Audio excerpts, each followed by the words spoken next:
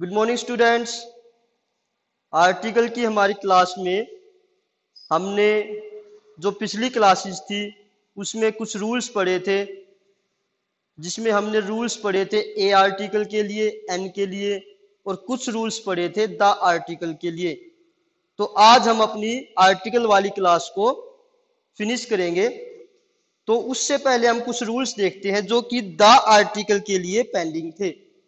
अब जो the article है, उसके हमने 19 रूल 19 रूल पढ़ लिए थे। आज ट्वेंटी रूल है, बीसवा जो रूल है, उसमें क्या होगा? जहाँ कहीं भी हमारा डायरेक्शंस आ जाए, जहाँ कहीं भी हमारी डायरेक्शंस आ जाए, और उससे पहले कोई अगर फिलअप दे रखा है और उसमें हमने आर्टिकल फिल करना है तो हम क्या करेंगे? द आर्टिकल यूज़ करेंगे। जैसे ईस्ट से पहले क्या हम करेंगे? द।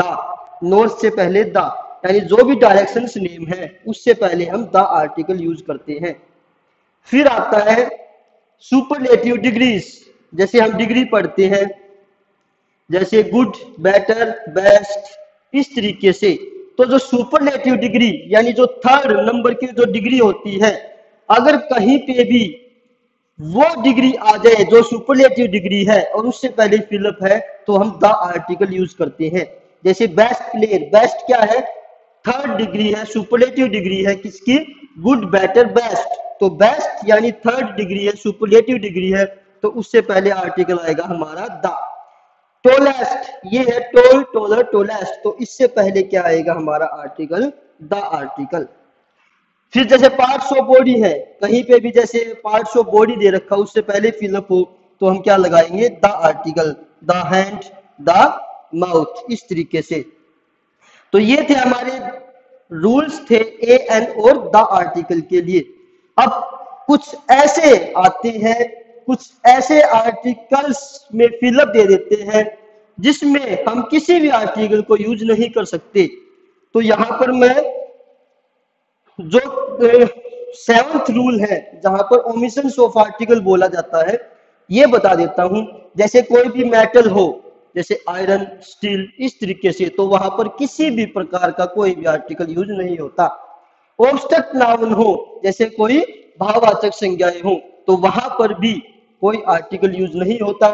मैटीरियल नाउन हो, दरवाचक संज्ञा हो तो वहाँ पर भी आपका कोई आर्टिकल यूज़ नहीं होता।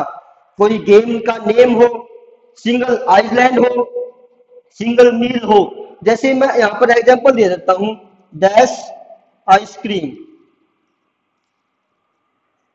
हम जल्दबाजी में क्या करते हैं? इस आई को देखकर हम जल्दबाजी में क्या कर लेंगे?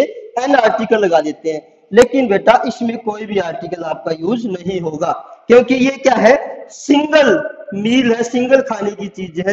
तो सिंगल जो मील होगा, खाने की जो भी चीज़ होगी, उसके साथ हम कोई भी आर्टिकल नहीं लगाते। या फिर कोई डिज़ीज़ नेम हो, कोई बीमारी का जो नाम होगा तो उसके लिए भी हम कोई भी आर्टिकल यूज़ नहीं कर सकते। तो ये थे हमारे कुछ ओमिजन ऑफ़ आर्टिकल्स जिसमें किसी भी प्रकार का कोई आर्टिकल यूज़ नहीं होता। आज हमारी आर्टिकल की जो क्लास है, वो कंप्लीट हो गई है। आपने क्या करना है?